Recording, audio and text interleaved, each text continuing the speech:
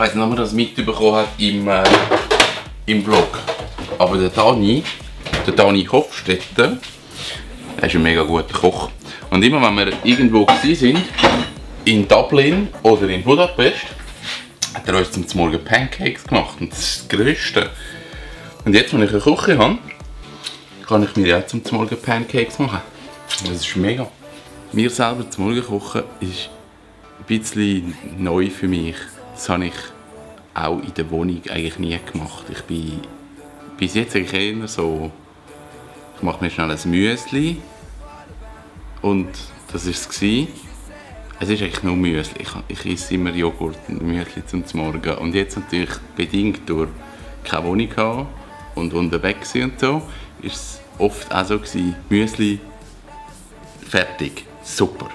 Und jetzt, wenn ich aber jetzt die Pancakes gemacht habe, oder jetzt, seit ich halt kochen kann, bin ich mir viel mehr am überlegen, am Morgen mir Zeit nicht zum Kochen. Das finde ich eigentlich etwas mega Schönes.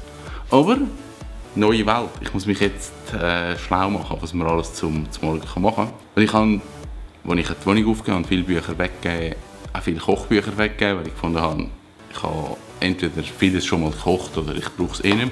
Aber zwei Kochbücher habe ich noch. Ähm, ich weiß nicht, warum ich die behalten habe. Das da gehört vielleicht auch. Das könnte sein. What Katie Ate. Ist, glaube ich, eine, eine Bloggerin aus den USA. Ist ein mega schönes Kochbuch. Und eins, das ich mal gekauft habe für den Bus, The Great Outdoors. Das ist ein cooles Kochbuch, weil es hat ähm, ganz viele so kleine Rezepte drin. Also, wo man etwas machen kann, aber halt nicht wahnsinnig viel braucht, nicht nur eine Pfanne braucht. Ich mache mich jetzt mal schlau und koche mir in den nächsten Tage. Immer am Morgen. Ich freue mich jetzt mega. Pancakes sind das Größte. Und morgen gibt es wahrscheinlich dann ein Spiegelei oder so.